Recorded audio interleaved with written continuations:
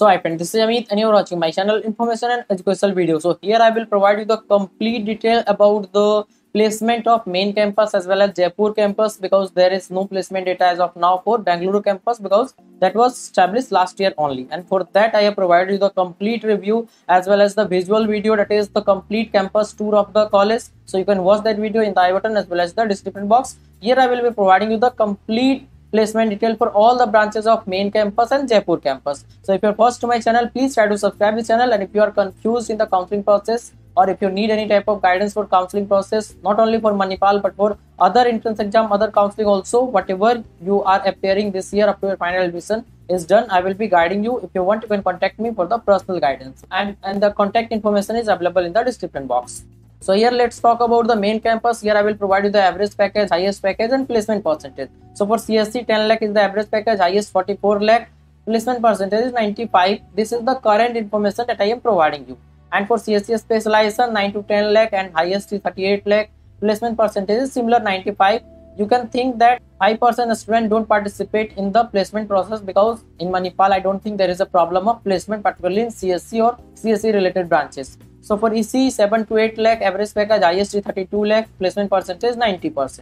And for triple E 5 to 6 lakh average package 28 lakh highest package uh, 85 is the placement percentage. So here one more thing I would like to inform you that don't go with the average package or highest package because it is the time to take right decision and also uh, one more important thing that is the placement depend on the student skill and by the uh, and after four years there will be different requirement of the industry so you you will be placed with highest package or average package. It depends on your skill set. So don't think that if the highest package is 44 lakh then i will get 44 lakh. You can get above than that also or less than that also. It completely depend on your skill set.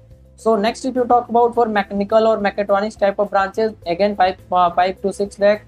Average uh, average package and highest is 26 lakh. Placement percentage 80 percent. And for other all branches plus uh, placement is for 4.5 to 5 lakh uh, that is average package 24 lakh highest package and 70 percent is the placement percentage because most of the students from other branches go to gate examination or any civil services examination. That's why most of the students don't participate in the placement because the package is a little bit low. So here is the information that is placement depend on your skill as i said. So don't be confused take your decision very carefully. That's why i'm here to guide you properly so that you can join the best branch according to your interest because you will develop the skill set in the branch in which you will have the interest.